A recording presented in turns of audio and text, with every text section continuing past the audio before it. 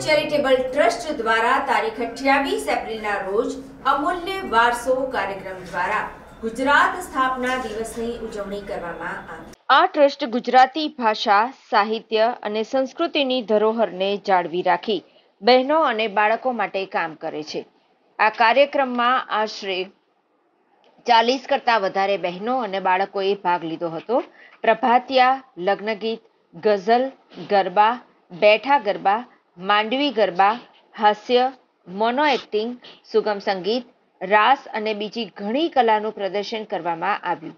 કાર્યક્રમમાં વિશેષ અતિથિ તરીકે આરજોભાઈ ત્રિવેદી, જે ગુજરાતી દિગ્દર્શક તથા નિર્માતા છે, પૌરવી જોશી, જે કોસ્ચ્યુમ ડિઝાઇનર અને કલાકાર છે રુચા ભટ્ટ, જે નર્તન એકેડેમી કલાલયમમાં ડાયરેક્ટર છે આશાબેન હિતેશ કુમાર બ્રહ્મભટ્ટ, જે પોતે એડવોકેટ છે, તથા દીપાલી વ્યાસ, જે ગાયક છે, તેઓ સૌ કોઈ હાજર રહ્યા હતા.